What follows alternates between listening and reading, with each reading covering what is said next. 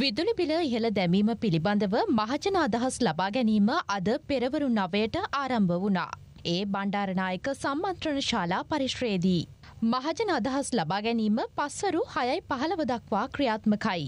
විදුලි බිල සංශෝධනය සම්බන්ධයෙන් ගන්නා අවසාන තීරණය එළඹෙන විසියෙක් වනදා දැනුම් දීමට නියමිතව තිබෙනවා. මේ අතර පුරවැසි මහජන උපදේශන සභාව ඇතුළු පාර්ශව කිහිපයක් ඊයේ දින මහජන උපයෝගීතා කොමිෂන් සභාව වෙත ගොස් තිබුණා. ඒ යෝජිත විදුලි බිල ඉහළ දැමීම පිළිබඳ මහජන අදහස් විමසීම සම්බන්ධයෙන් වාර්තාවක් ඉදිරිපත් කිරීම සඳහායි. එහිදී ඔවුන් පෙන්වා දී ඇත්තේ යෝජිත විදුලි බිල වැඩිකිරීමේ කිසිදු අවශ්‍යතාවයක් නැති බවයි.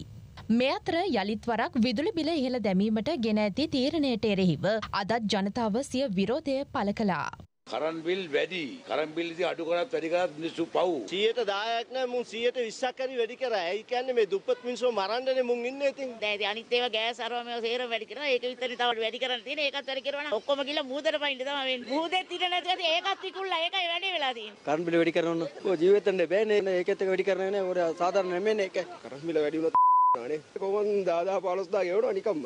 ඉස්සර රුපියල් 2000යි රෑට නිදාගෙන උදේට බලනකොට මොනවා හරි වැඩි. කරන්ට් බිල් ගෙවන්න තියා එදා වේල කණ්ඩවත් තත්ත්වයක් නැතුව ඉන්නේ. මේක හරියට අපරාධයක් කියලා තමයි මට නම් කියන්න තියෙන්නේ. රටේ ලෝකෙ සිදුවන උණුසුම් පුවත් දැනගන්න. සියත නිවස් YouTube channel එක අදම subscribe කරන්න.